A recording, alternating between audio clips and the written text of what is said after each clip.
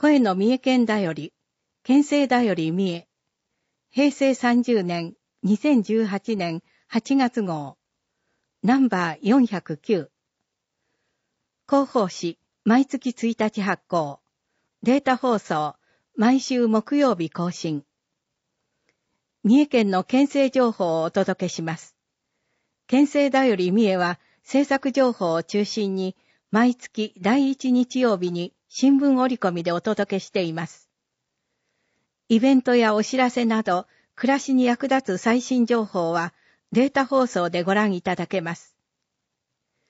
次号のお知らせ。9月号は9月2日日曜日に新聞折り込み予定です。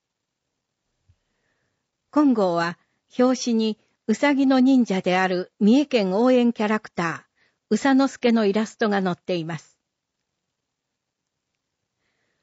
特集1若者の県内定着に向けて若者たちの活躍が三重を元気にする。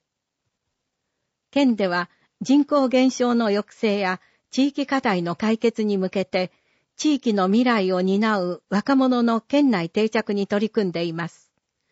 今号では、若者の進学先として、県内の高等教育機関、大学、短期大学、高等専門学校を紹介するとともに、就職先として県内の企業を選び、地域の担い手として活躍してもらうための取り組みを紹介します。写真が2枚あります。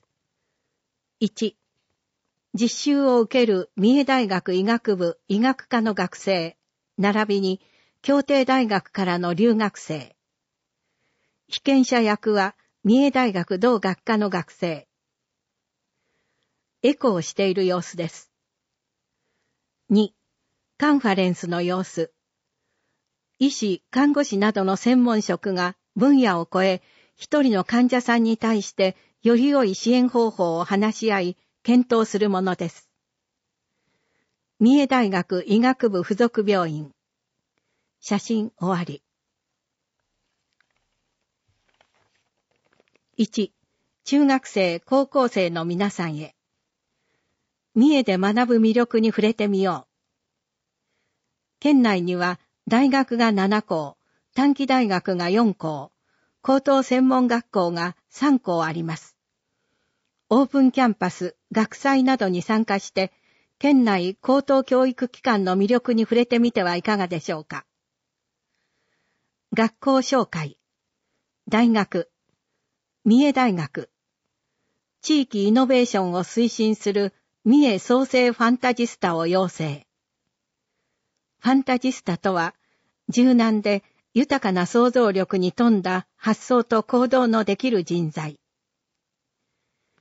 三重県立看護大学。三重の保健医療を支える未来の看護職者を育成します。四日市大学。総合政策学部は公務員を目指す学生に心強い授業が充実。四日市看護医療大学。就職率100%。国家試験対策で一人一人をサポート。鈴鹿医療科学大学。4年生医療系大学のパイオニアとしてチーム医療に対応できるスペシャリストを育成。鈴鹿大学。平成31年度国際地域学部設置予定。子供教育学部は、養護、幼児教育を学ぶ。工学館大学。小学校教員採用試験合格者数は県内トップ。短期大学。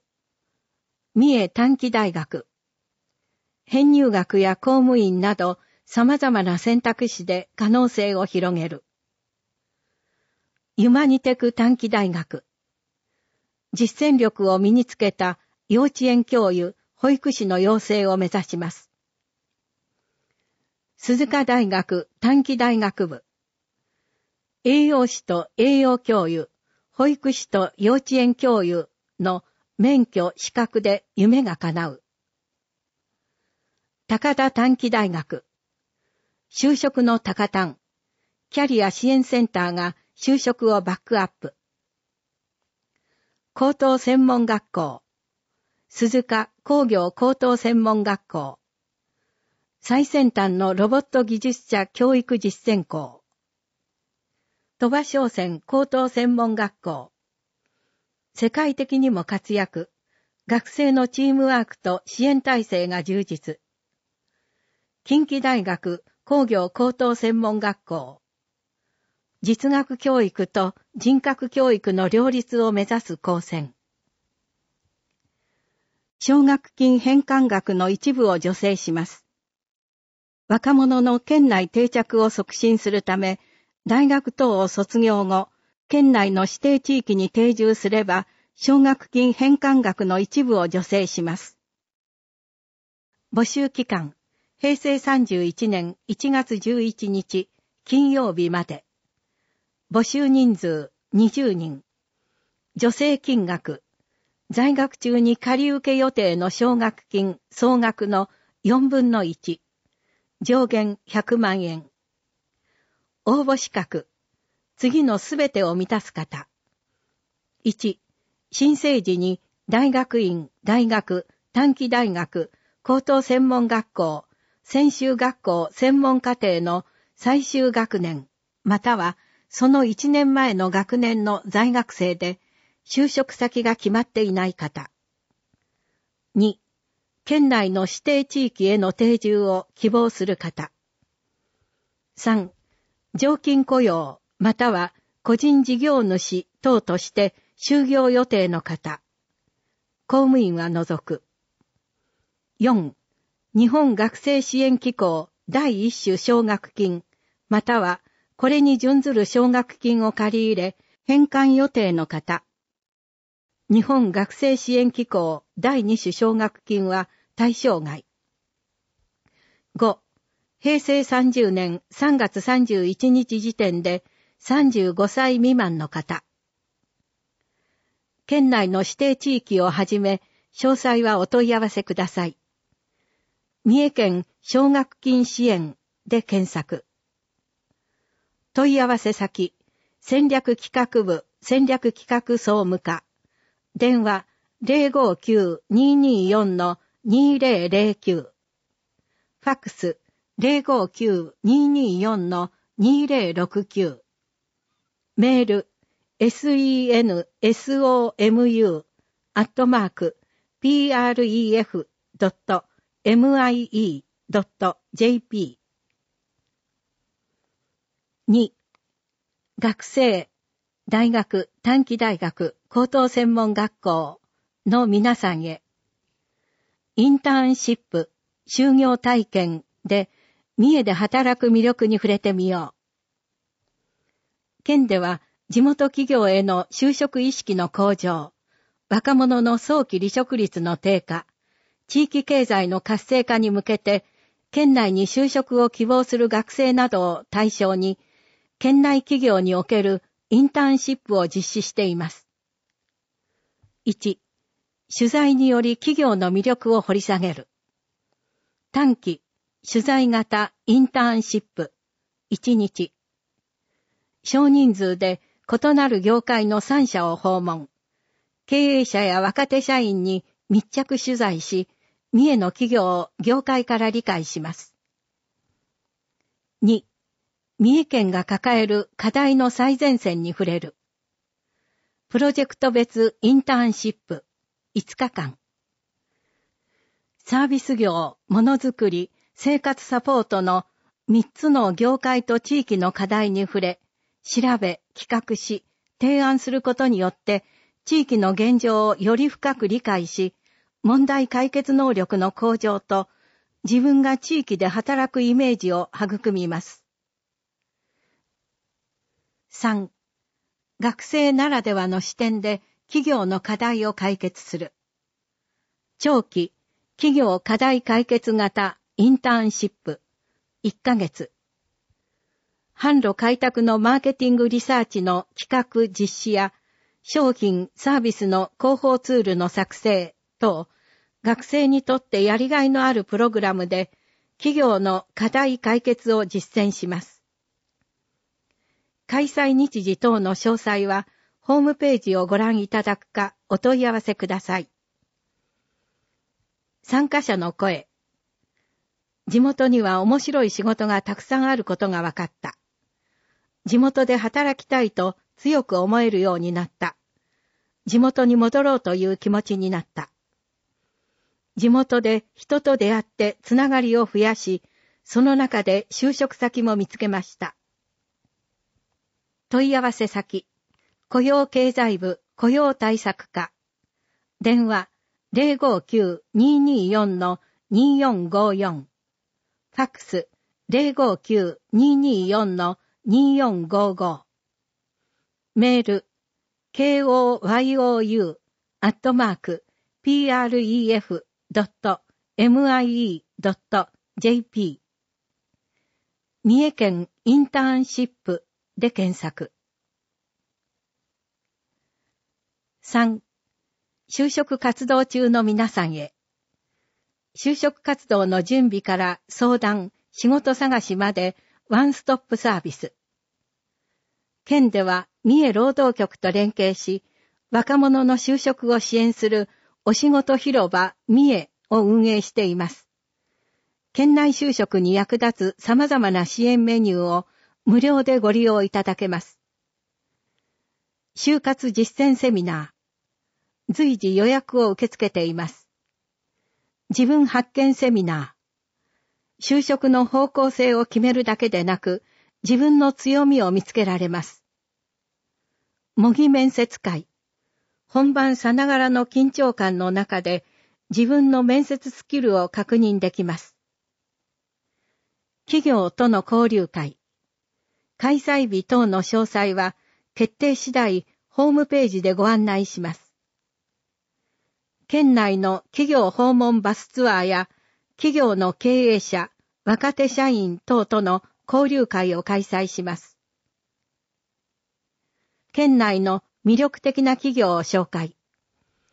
若者の皆さんが就職先を考える参考となるよう、ホームページ、三重の企業丸分かりナビで、県内企業の魅力を紹介しています。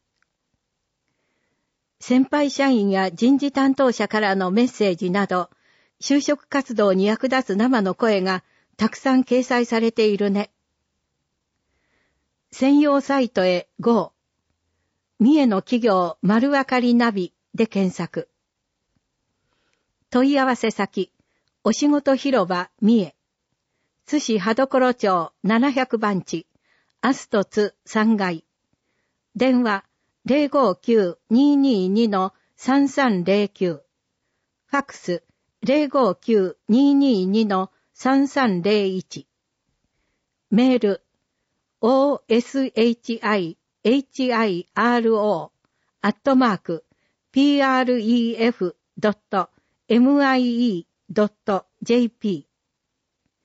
お仕事広場三重で検索。ご家族の方へ、我が子の就職を支える家族フォーラム。働きたいけど、就職に結びついていない子供を持つご家族のためのセミナーです。参加無料。日時、平成30年9月29日土曜日、午後1時30分から3時30分。場所、三重県勤労者福祉会館、津市栄町1-891。内容、講演、石坂徳則さん、埼玉大学基盤教育研究センター教授。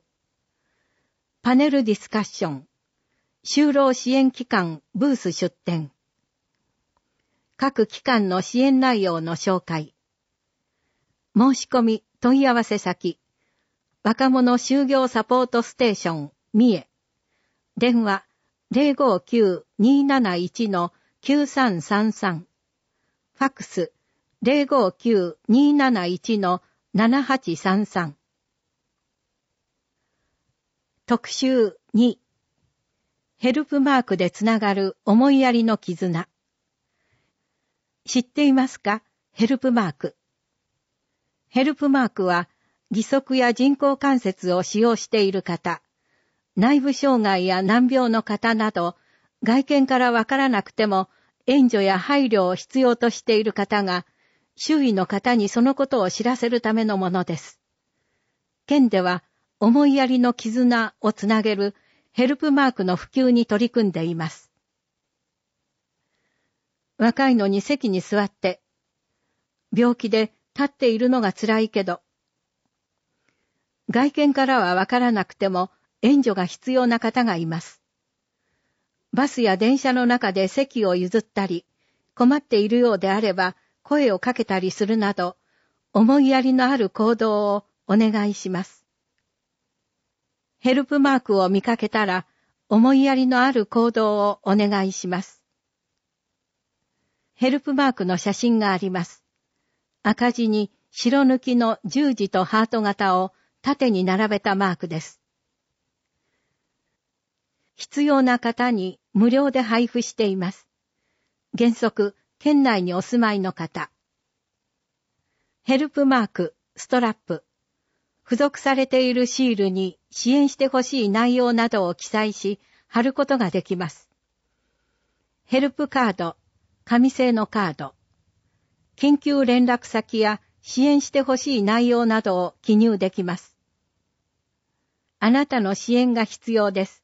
ヘルプカード、三重県と書かれています。配布場所、三重県庁2階地域福祉課、県各福祉事務所、県各保健所、県障害者相談支援センター窓口、県内各市長、福祉担当窓口、ヘルプカードのみ配布。案内、ユニバーサルデザインセミナー。テーマ、ヘルプマークを知っていますか？入場無料、要申し込み。手話通訳、要約筆記あり。ヘルプマークをより身近に感じ知っていただくためのセミナーを開催します。日時、8月10日金曜日、午前10時から11時40分。場所、三重県庁行動。定員200人。講師、三重県ヘルプマークアンバサダー、小崎まりえさん。詳細はホームページをご覧いただくかお問い合わせください。寄付募集。ヘルプマーク作成、啓発費用をクラウドファンディングで募集中。クラウドファンディング。インターネットを通じて不特定多数の人から資金調達する仕組みのこと。ヘルプマークの取り組みに賛同いただける方の支援により、ヘルプマーク、ストラップ等の作成や普及、啓発を進めるため、その費用の一部をクラウドファンディングで募集しています。寄付は1000円以上、1000円単位でお願いします。詳細はホームページをご覧ください。問い合わせ先、子ども福祉部、地域福祉課、電話059-224-3349、ファックス059-224-3085、メール、ud、アットマーク、pref.mie.jp 三重 UD で検索。特集3みんなで盛り上げよう。クルーズ船の受け入れ。観光ルートの多様化に向けて。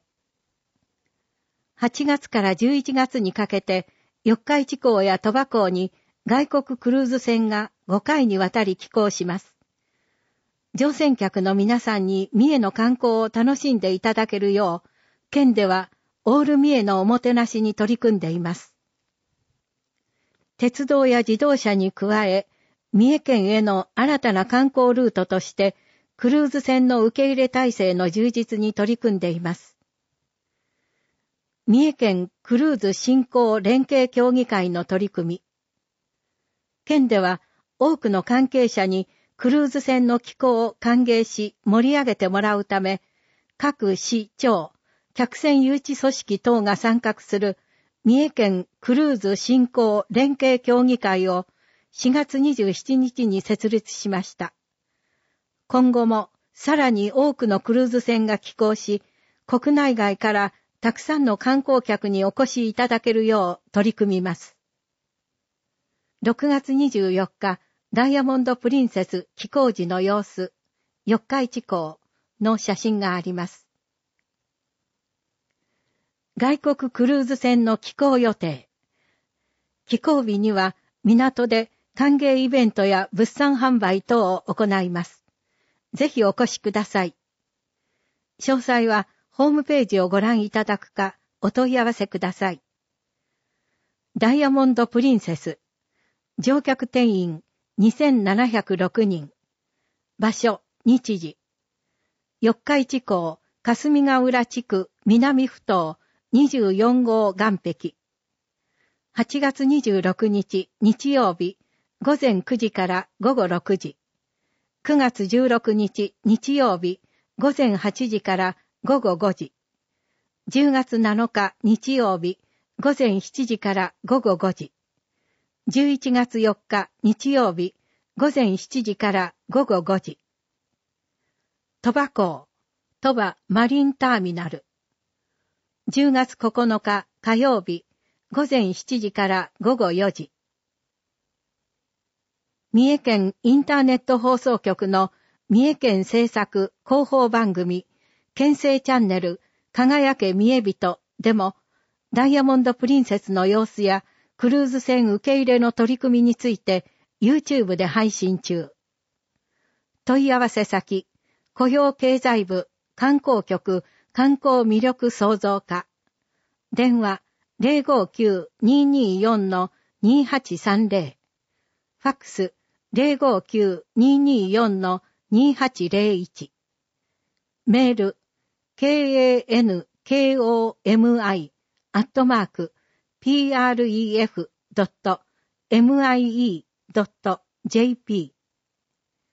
三重県クルーズで検索。大切なお知らせ。ブロック塀等の安全点検のお願い。6月の大阪府北部を震源とした地震において、ブロック塀等の倒壊被害が発生しました。地震時に倒壊することがないよう、ブロック塀等を所有、管理されている方は、安全点検をするよう努めましょう。安全点検の結果、危険性が確認された場合には、付近通行者への速やかな注意表示、及び補修、撤去等をお願いします。1、塀は高すぎないか。塀の高さは地盤から2.2メートル以下か。2、塀の厚さは十分か。塀の厚さは10センチ以上か。塀の高さが2メートル超2.2メートル以下の場合は15センチ以上。3、控え壁はあるか。塀の高さが1.2メートル超の場合。塀の長さ3.4メートル以下ごとに塀の高さの5分の1以上を突き出した控え壁があるか。4、基礎があるか。コンクリートの基礎、寝入れがあるか。5、平和健全か。塀に傾き、ひび割れはないか。専門家に相談しましょう。6. 塀に鉄筋は入っているか。国土交通省建築物防災推進協議会の建物もあなたと同じ健康診断より。詳細はホームページをご覧ください。三重県防災ブロック塀で検索。問い合わせ先、県土整備部建築開発課。電話059-224-2752。ファックス059-224-3147。メール kenchiku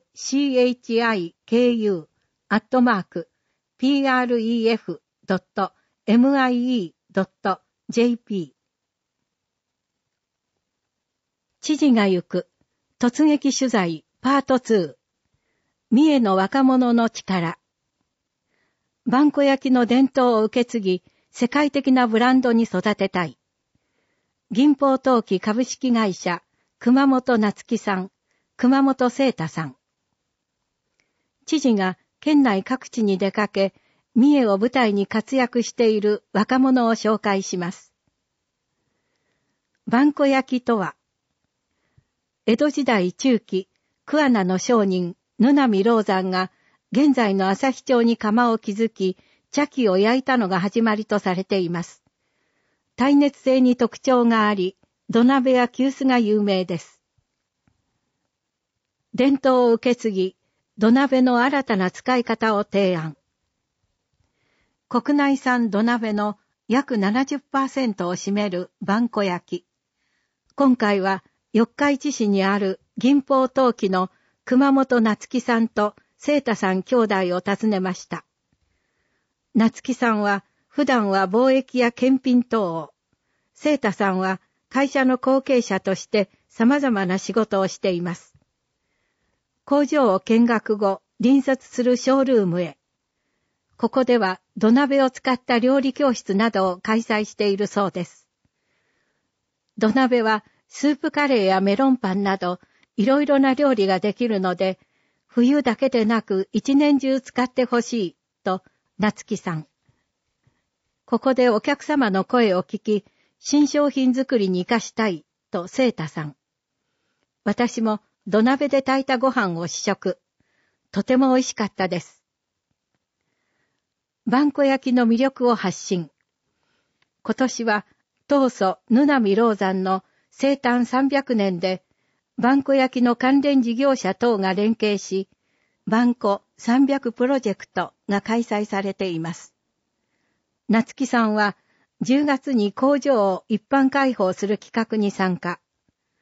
この機会に産地一体となって、新たな視点でバンコ焼きの魅力を発信したいとプロジェクトにかける思いを語ってくれました。他にも記念誌の発刊や展示会が予定されています。今からとても楽しみですね。後継者として、そして世界的なブランドへ。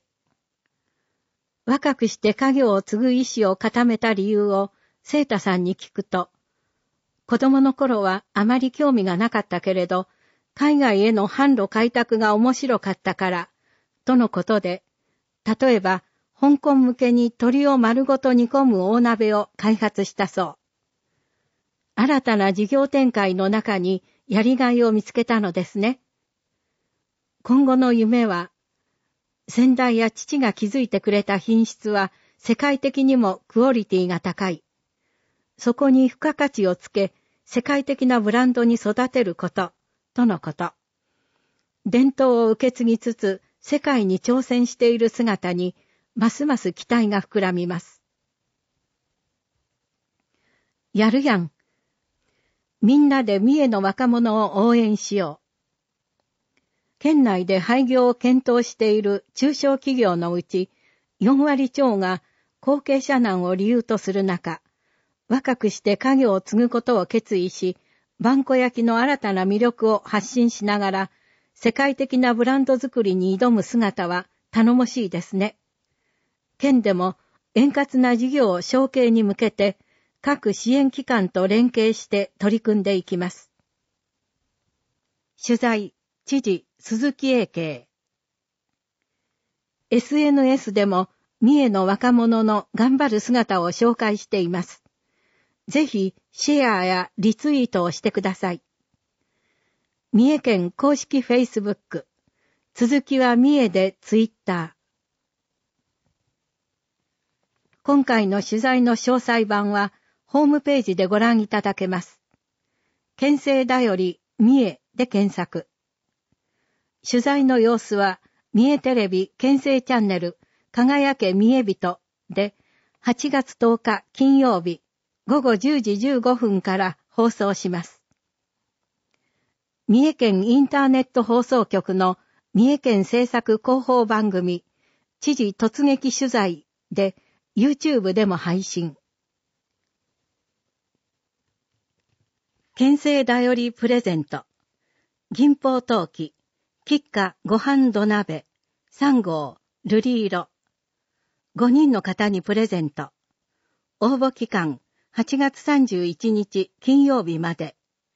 はがきは当日消印有効。応募方法。はがきまたはメールで、住所、名前、電話番号、県政だよりを読んだ感想をご記入の上、ご応募ください。郵便番号514-8570。住所不要。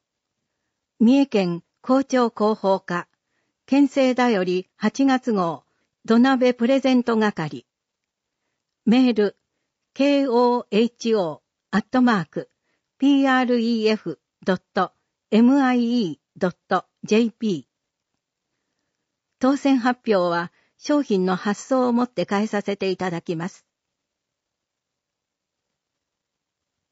三重県の人口世帯数、平成30年6月1日現在、人口179万1894人、男性87万3689人、女性91万8205人、世帯数73万6075世帯。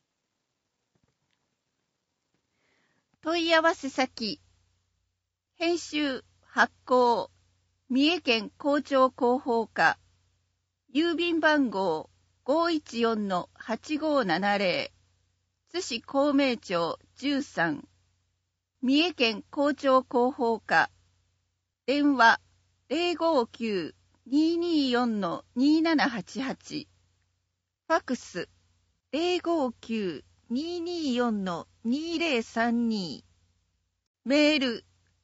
koho.pref.mie.jp 県庁電話案内。各課ご案内。電話。059 224-3070県ホームページでも、県政だより三重、声の三重県だよりを配信しています。県政だより三重で検索。県政だより三重に関するご意見、ご感想をお寄せください。展示版、音声版をご希望の方はお問い合わせください。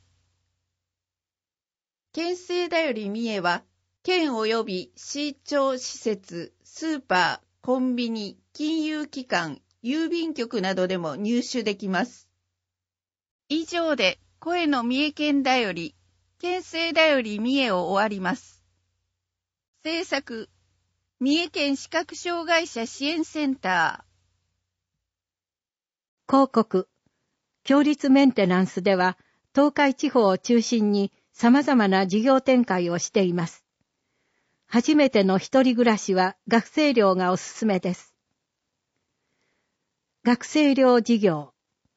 道ー元山2019年4月ニューオープン。メリット1。美味しい朝食夕食付き。メリット2。全室、家具付き、個室。メリット3。寮長夫妻が常駐で安心。メリット4、仲間との楽しい生活。東海地方を中心に学生寮を運営。名古屋では17棟。詳しくはこちら。QR コードがあります。http://j.mp スラッシュ 2z3 大文字 J、大文字 U、大文字 Q、大文字 Q。三重県内ホテル事業。天然温泉、欅の湯、道民インツ。津駅より徒歩1分の高立地。ビジネスにも旅行にも対応。天然温泉大浴場。いにしえの宿、伊久。伊勢神宮内宮まで徒歩15分。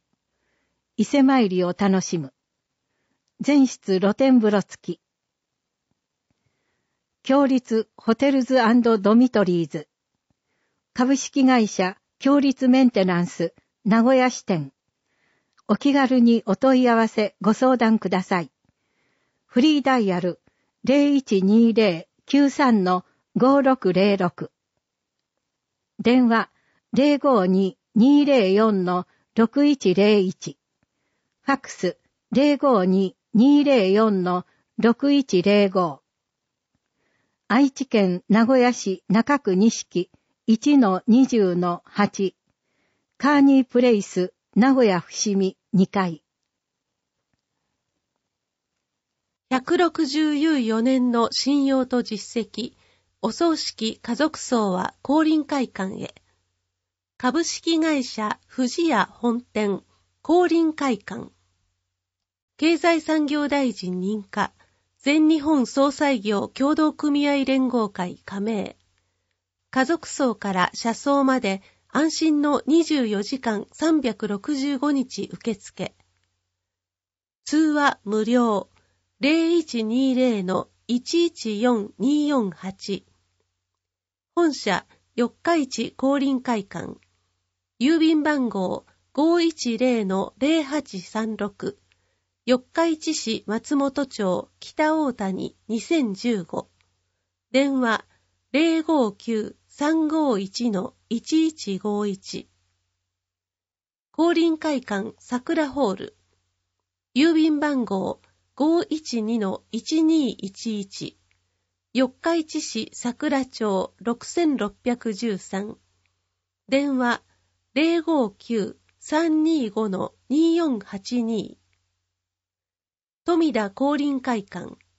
郵便番号510-8014四。日市市富田2丁目3-7電話059-361-2481津降臨会館。